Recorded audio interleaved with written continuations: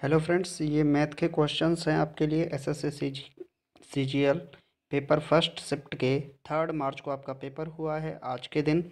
और इसके सभी के सभी मैथ के क्वेश्चंस आपके लिए यहाँ अवेलेबल हैं। पीडीएफ की लिंक डिस्क्रिप्शन में दे रखी है, वहाँ से आप उसे डाउनलोड भी कर सकते हैं। तो पहला क्वेश्चन है A plus B equal to forty five degree two one plus tan A one plus tan B equal to क्या होगा? तो इसका सॉल्यूशन भी मैंने आपको यहाँ पर आगे लिखा है। नेक्स्ट क्वेश्चन नेक्स्ट क्वेश्चन आया था X equal to four cos A plus five sin A Y equal to four sin A minus five cos A और आपसे पूछा गया था X square plus Y square का वैल्यू क्या होगा? तो आप इसका आंसर भी देख सकते हैं। इसका आंसर थ्री है, जो कि मैंने आपके लिए लिख रखा है, पहले से ही और सॉल्यूशन दे रखा है। नेक्स्ट क्वेश्चन है दोस्तों,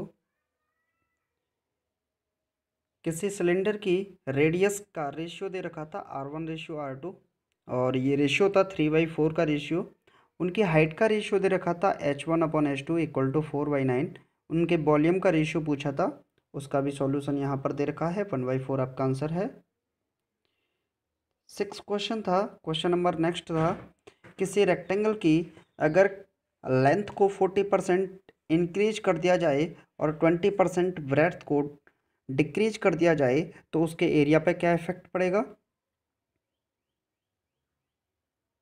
तो बहुत आसान क्वेश्चन था, बहुत ईजी क्वेश्चन था। नेक्स्ट क्वेश्चन था, किसी क्लास में बॉयज़ और गर्ल्स सिक्स फोर ज़ीरो हैं। अगर बॉयज़ और गर्ल्स का रेशियो फाइव रेशियो थ्री है, यदि गर्ल्स को थर्टी बढ़ा दिया जाए तो बॉयज़ की नंबर संख्या क्या होगी? नेक्स्ट क्वेश्चन है दोस्तों, यदि किसी वर्ष में तैतालीस सौ रुपये four three double zero rupees two year में four six four four rupees हो जाते हैं तो उसी सिंपल इंटरेस्ट पर दस हज़ार एक सौ चार रुपये पाँच साल में कितने हो जाएँगे? ये क्वेश्चन था आपका। नेक्स्ट क्वेश्चन है दोस्तों, क्वेश्चन नंबर नाइन, प्रॉफिट बारह परसेंट है किसी वस्तु का, किसी वस्तु पर, किसी आर्टिकल पर ट्वेल्व परसेंट का प्रॉफिट है। ट्वेंटी एट पर ट्वेंटी एट परसेंट का अगर डिस्काउंट दिया जाता है मार्क प्राइस या ट्वेंटी फोर परसेंट है तो उसका सी पी क्या होगा? तो उसे भी आप यहाँ से चेक कर सकते हैं।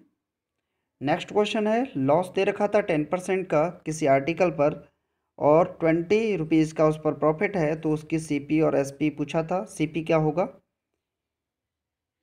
Next question.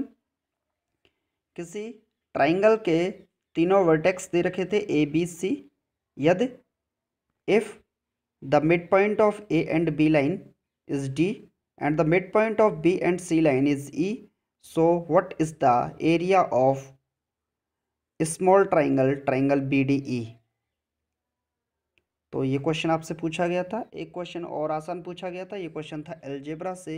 X plus Y equal to eight Y plus Z equal to thirteen Z plus X equal to seventeen so value निकालनी थी X square upon Y Z की।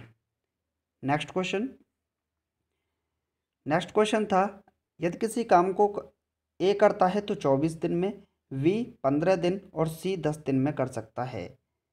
क्वेश्चन पूछा गया था कि यदि ए और बी दोनों मिलकर किसी, उस कार्य को तीन दिन में कर, तीन दिन करते हैं, उसके बाद ये चले जाते हैं तो सी उस काम को कितने दिन में पूरा करेगा?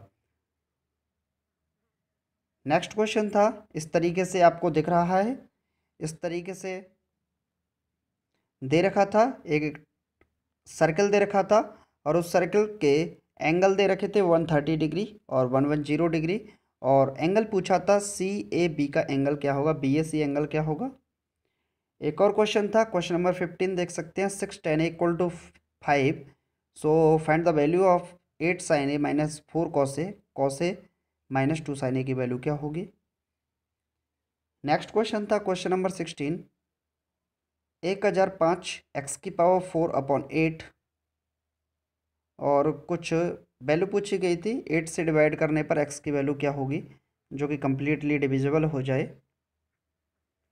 और नेक्स्ट क्वेश्चन था, यदि किसी पोल अगर कोई पोल दे रखा है तो उसकी पोल को कोई रेलगाड़ी ट्रेन ट्वेल्व सेकंड में पार करती है ब्रिज को थर्टी सिक्स सेकेंड में पार करती है तो ट्रेन की स्पीड पूछी थी। एक डीआई से क्वेश्चन पूछा गया था डाटा इंटरप्रिटेशन से क्वेश्चन पूछा गया था, और टेबुलर डीआई यहाँ पर पूछने को आई थी।